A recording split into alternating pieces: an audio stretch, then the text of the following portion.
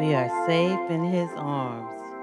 When the storms of life come, he will hide us. He will keep us. He will cover us. He will be over us. I don't know about you, but I'm so glad when the storms of life are raging, he will hide me. He will keep me. He will cover me and he will watch over me.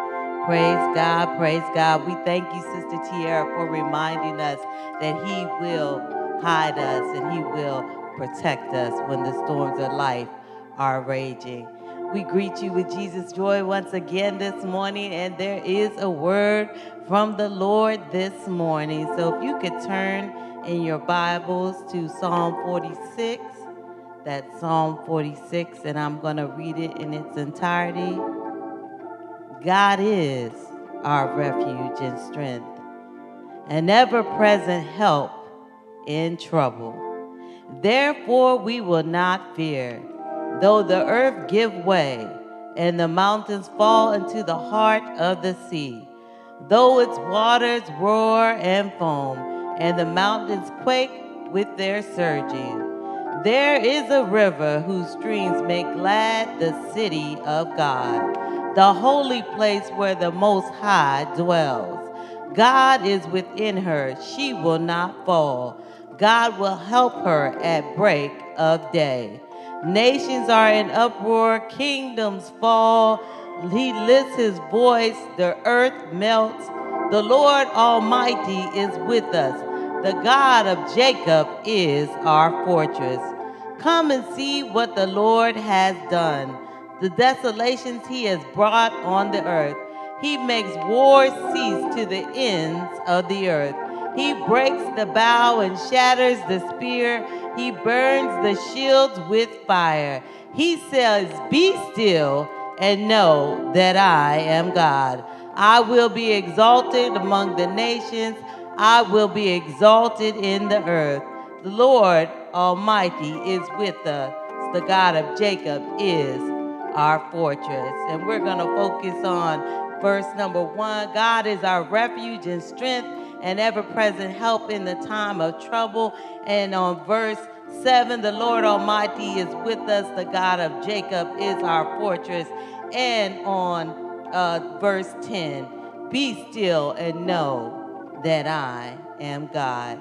And I ask for your prayers as we lift up our sermon topic this morning how to handle panic. How to handle panic. Let us pray. Most gracious and heavenly Father, we come before you once again, God, just asking you, Lord God, that you would show up and speak to your people, Lord God.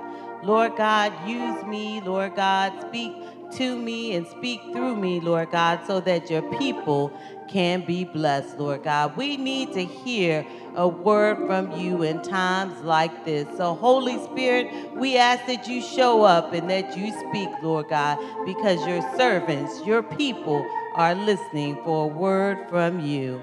In Jesus' name, amen. How to handle panic. On September 11th, 2001, panic swept through the United States when 19 militants hijacked four airplanes and carried out suicide attacks against targets in the United States. The first plane, American Airlines Boeing 767, crashed into the North Tower of the World Trade Center in New York City at 8:45 a.m. The impact left a burning hole near the 80th floor of the 110 story skyscraper, instantly killing hundreds of people and trapping hundreds more in higher floors.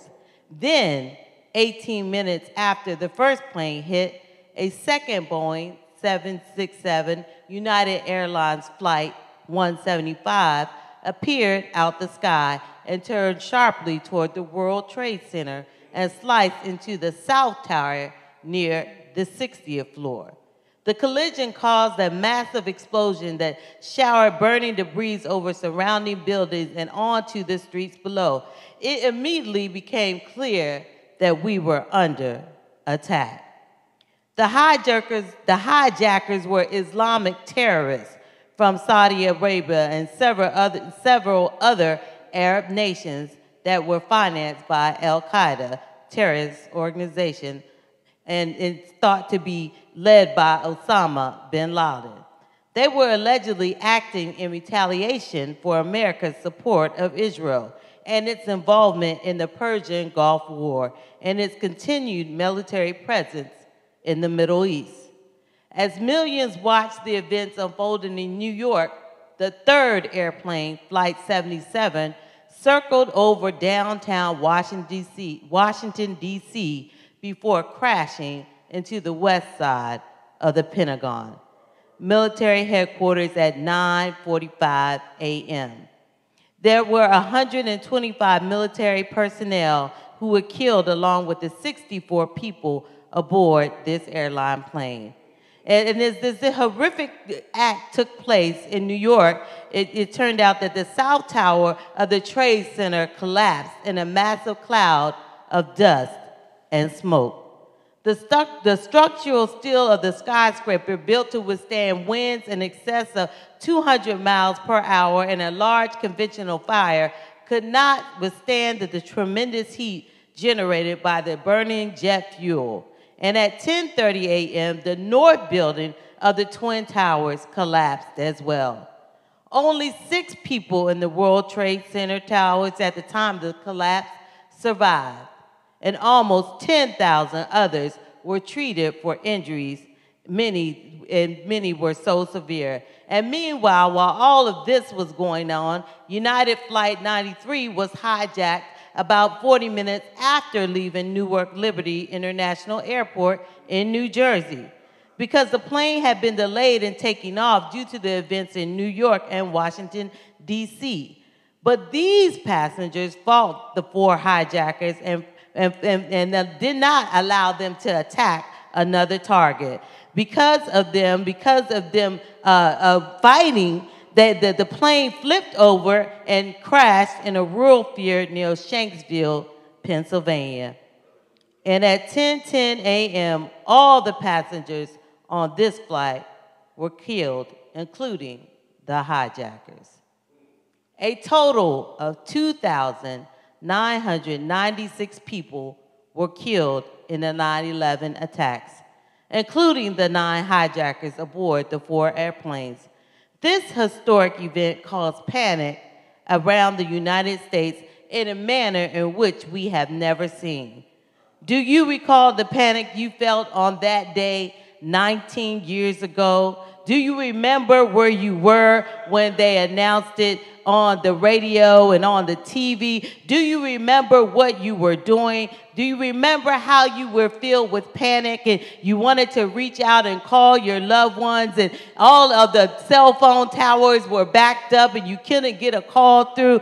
Do you remember where you were on that day? I remember I was pregnant with RJ. And it, that was September 11th. I was pregnant and I was in Washington, D.C., working and trying to get out of Washington, D.C., because I was in a state of panic. I was in a state of panic because they had put all of the schools on lockdown, and I was trying to get to Janae, who at that time was seven years old and was attending Kettering elementary school in the second grade. And I wanted to get to her to make sure that she wasn't panicked, that she knew that her mom was okay, and that everything was going to be all right. But there was traffic everywhere, it was gridlocked.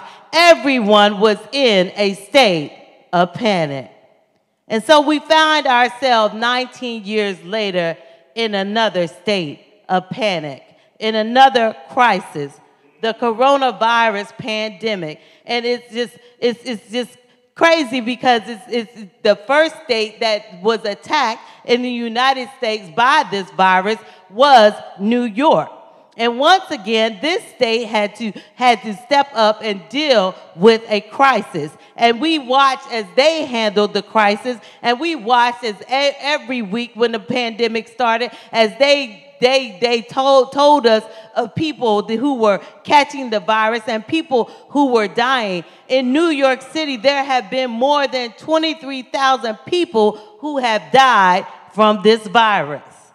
And while 45 would have us to believe that the pandemic is under control, the fact of the matter is there still isn't a vaccine. The fact of the matter is there still isn't a cure. The fact of the matter is people are still dealing with health complications from the virus. The fact of the matter is that people are still dying. And the fact of the matter is that there is still a sense of panic.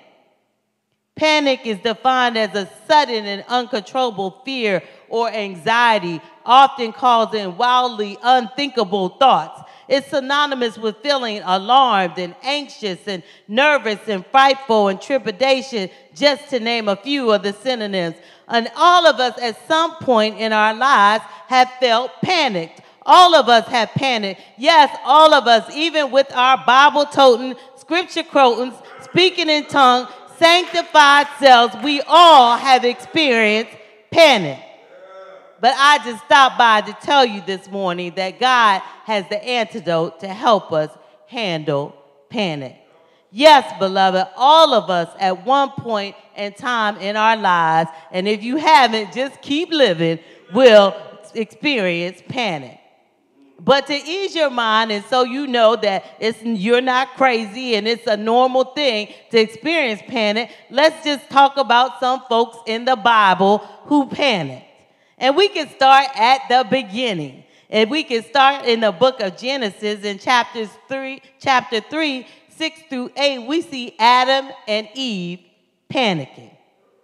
Adam and, Adam and Eve ate from the tree of knowledge and they were told not to eat from it, but then they ate from it and their eyes were open and then they realized that they were naked, so they sewed some, sewed some fig trees together to cover their bodies because they panicked. They panicked because then the Lord called them and they hid from the Lord because they were afraid. They, they panicked. And, and the Lord called them and he said, Where were you? And they said, Well, we hid because we were naked. naked. And he said, Who told you that you were naked? And he knew that they had ate from the tree of knowledge. And then if we go to 1 Kings 19 and 3, Elijah panics and runs for his life to Beersheba when he hears that Jezebel has threatened to kill him. And then, if that wasn't enough, if we go to the New Testament, then we see the disciples who have walked and talked with Jesus since he started preaching and teaching and have seen him do miracle after miracle. That we see that in Mark 14 50, that the disciples panic. They flee and they run and they are scared and they, they, they are running because they have fear. And we know that one of the synonyms of panic is, is fear. And that's what causes panic because we are fearful. Adam and Eve, Elijah, the disciples, and even Peter, when he denied Jesus three times, all panicked out of fear. Panic is also caused by stressors. And if we tell the truth, all of us have been stressed since this pandemic entered our lives. Those of us who are teleworking are stressed by the pandemic because it seems as though our bosses are watching every second, every minute, and clocking everything that we are doing. And even though we're doing a lot of work, it seems that they're still not satisfied. So every week we are stressed when we are working. We are working, but we are stressed we are stressed because it just seems like the more we do, the more they want us to do. The more that we do, the more they want us to do because they think we're at home and we're not doing any work. So they wanted to show that we're being productive. And so it just seems like they're throwing more and more work on us and it's causing stress.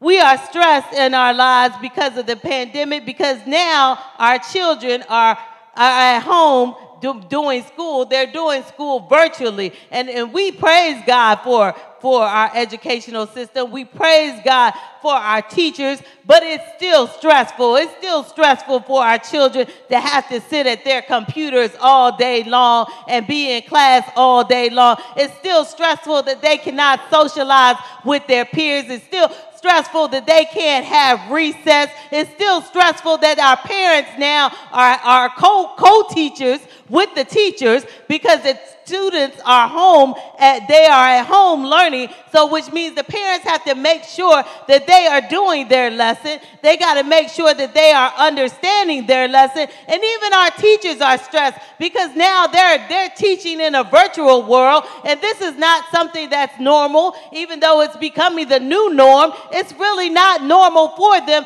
So it's another stressor so it's, it's understandable that people are panicking. It's understandable that people are panicking because some people, even though some of us are blessed to telework, some folks have lost their jobs. Some folks don't know how they're going to pay their bills.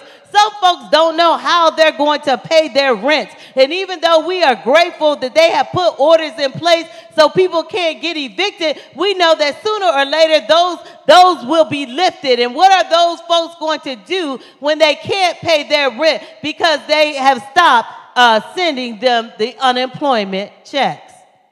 We are stressed. We are stressed as we are caring for our loved ones. We are stressed uh, as we are dealing with their health issues and dealing with our own health issues. All of this is become, coming upon us because of the pandemic. And when people feel panic, when people feel feel stressed, then they start to do what's called a, a, a fight or flight. That means either you want to uh, uh, run away or you want to fight. And many of us wish we could run away. Many of us wish we could go to another country to get away from this pandemic. But everywhere we go, the pandemic is still there. It's in other countries as well. So we need to shelter and stay in place. We need to shelter and stay right here in the United States to make sure that we are safe. And so we want to fight. We want to fight because we just are getting upset. We're getting angry. And so sometimes that's why there's so much chaos going on right now. That's why there's so much uh, more domestic violence going on right now because people are upset and they don't know what to do. They don't know how to handle their panic. And so they want to fight. But the word of the Lord says that we don't need to fight uh, physically, but we, we need to not fight by might nor by, by power, but by the Spirit of the Lord. Psalm 46 gives us the antidote on how to handle panic. Now, the book of Psalms was written to, to provide expressions of praise and worship, and they, they were actually songs that were either sung or played instrumentally. And while many of the other songs begin with describing the crisis that the writer is currently going through, David begins the Psalm 46 by reminding us of who God is. God is our refuge and strength, a very present help in trouble. Verse 1 of this passage of scripture reminds us that God does not promise that we won't will we, that we will not have trouble, but this scripture reminds us that God will be with us in the midst of trouble. Jesus tells the disciples in John 16 33, In this world you will have trouble, but take heart, I have overcome the world. So that is our first point this morning. There's a reminder that God is our provision. Verse 1 reminds us that God is our refuge and strength. The reality is, as long as we are living in this world, we will face trouble. We will face tragedies and tragedies that affect us as a nation and tragedies that affect us personally.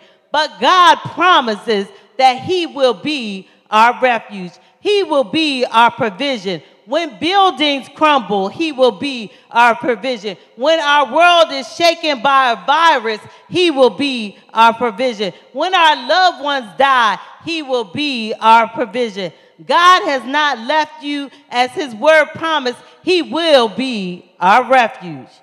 And how do I know that God is our refuge? How do I know that God provides provision? Because we are all still here. Amen. There are some that God has called home, and there are some this virus has taken away, and there are some who have succumbed through national tragedies and national disasters. But for some reason, God has allowed us to still be here. God has allowed us to get through 9 11. God has allowed us to get through the Persian Gulf War. God allowed us to get through slavery. God allowed us to get through Hurricane Katrina.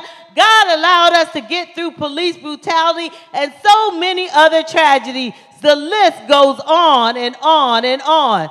But regardless of what you're going through, I just stopped by to remind you that God is a very present help in the time of trouble. God is our provision. Even if you can't remember the whole verse of this first scripture of this first verse of this scripture, all you need to remember is that God is. You see, the word is, is, is used as a verb. The word is expressive ex- existence or a state of being. It's classified as a linking verb, or and it's a derivative to the word to be.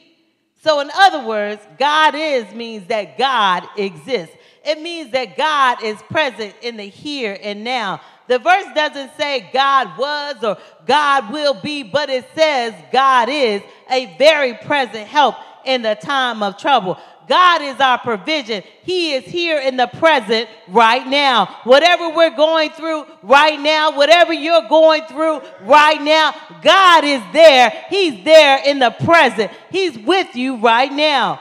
Just as it says in Psalm 121, verses 1 through 2, it says it like this I will lift up mine eyes to the hills, from which cometh my help.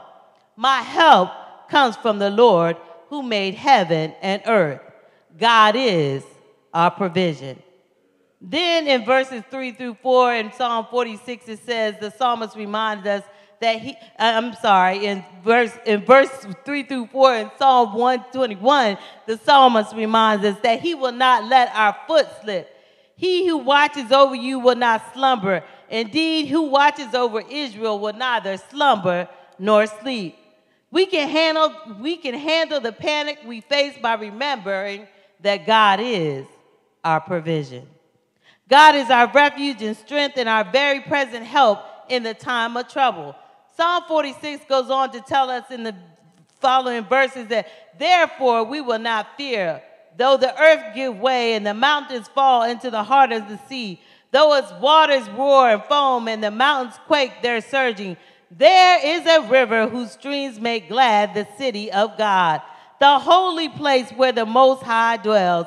God is within her, she will not fall. The psalmist is reminding us that national disasters will come upon the earth, but God will be our protection. And that's our second point. As we celebrate National Preparedness Month, we need to remember that God is our protection. In verse 7, it states, The Lord Almighty is with us. Again, there's that word is, which reminds us that this means in the present tense. That God is with us, that God is our protection, that God is the God of Jacob, is our fortress. And we all know who Jacob was. Jacob was the son of Isaac and Rebekah, and he had a twin brother named Esau. Now, you all remember Jacob. Y'all remember that Jacob deceived Esau into selling his birthright for a bowl of soup. Jacob then tricked his father while he was on his deathbed and received the blessing that was meant for Esau.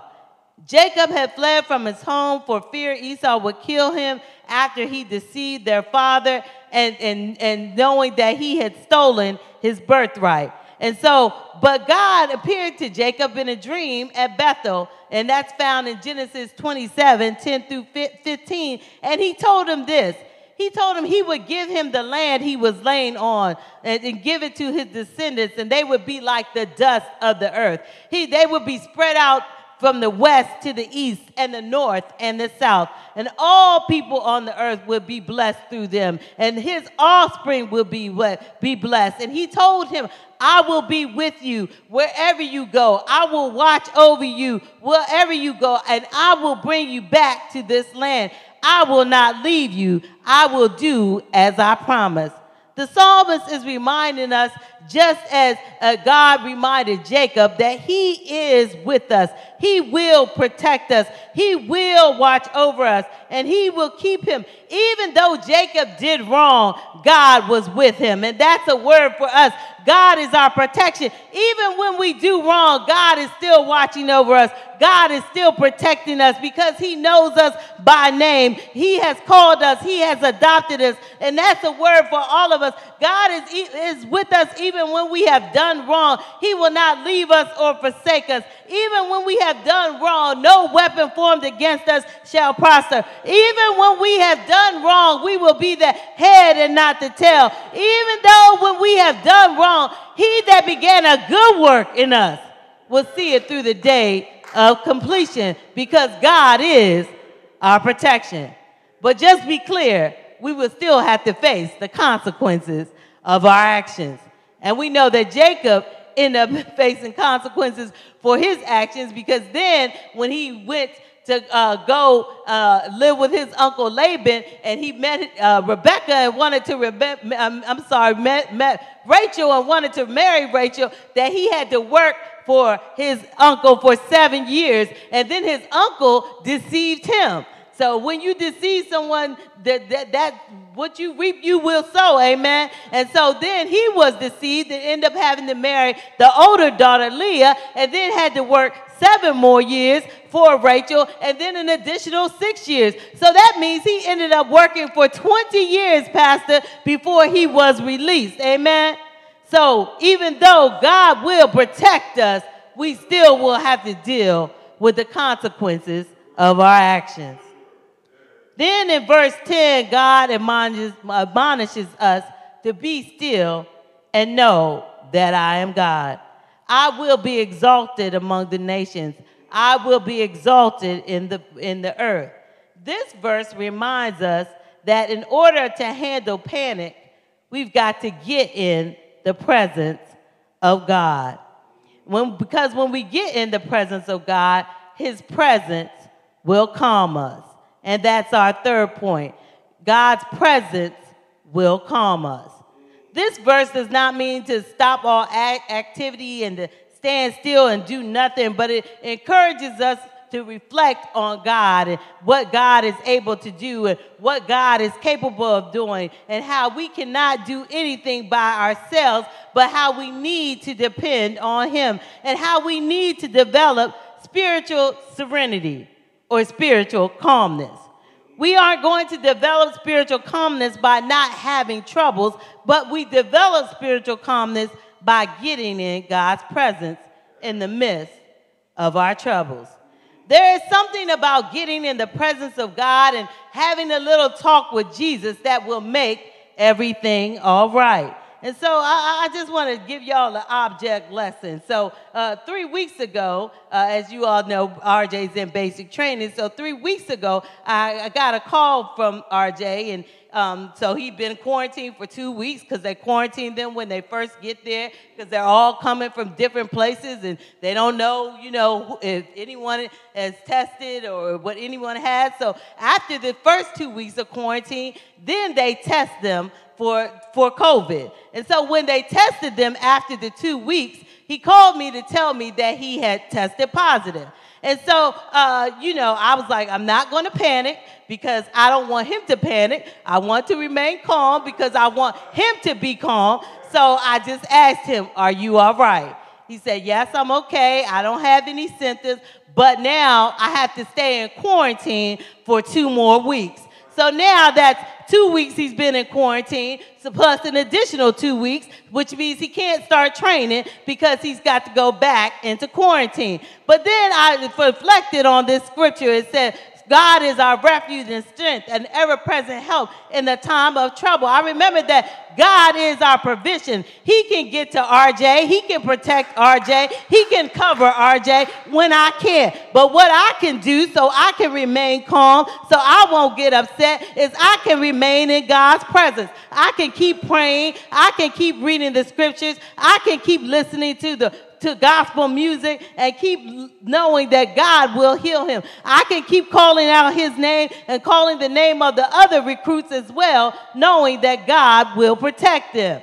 Then last Saturday, I received a call from RJ telling me that he was fine and he was released from the additional two weeks of quarantine, and now he's officially headed to boot camp, and that was one week ago. So that means he's now in boot camp and he's on the path that God has destined for him. And of course, that, that was a great praise report, and I was thanking God and shouting and thanking God for that. But then I, I, went to the mailbox and I had gotten a letter that he had written while he was in quarantine that he wrote to me, and he said he was he said I got about six days left in quarantine. And he said, but while I've been in quarantine, we've been having Bible study, and while I've been in quarantine, I've been reading this book by Max Lucado called "Trade Your Cares for Calm."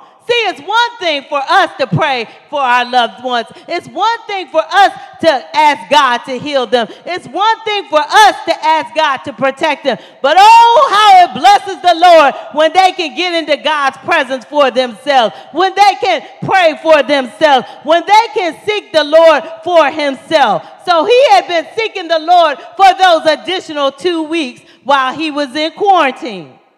And Max Lucado, during this time of the coronavirus, created an acronym for CALM. So I want y'all to remember this.